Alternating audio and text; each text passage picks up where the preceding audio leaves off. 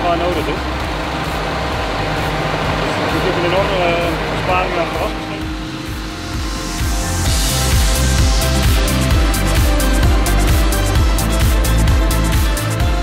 We mounted RGB cameras on the spray boom to detect rumex plants in a grass field.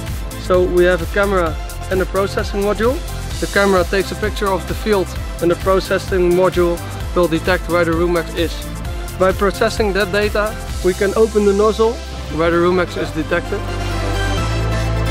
This will save a lot of chemicals and is a lot better for the environment.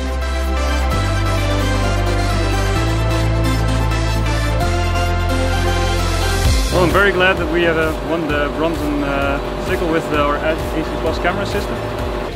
We're extremely happy we've won the innovation prize. Well, the first prize is the, the Bronson Sickle. This is the innovation prize at the Agrotechniek Holland here in uh, Biddinghuizen. This is a big achievement for us and we are very happy to have this. We are very proud on the fact that just a small company coming from Holland has won this world amazing um, experience what we can do in the, in the new future of spraying.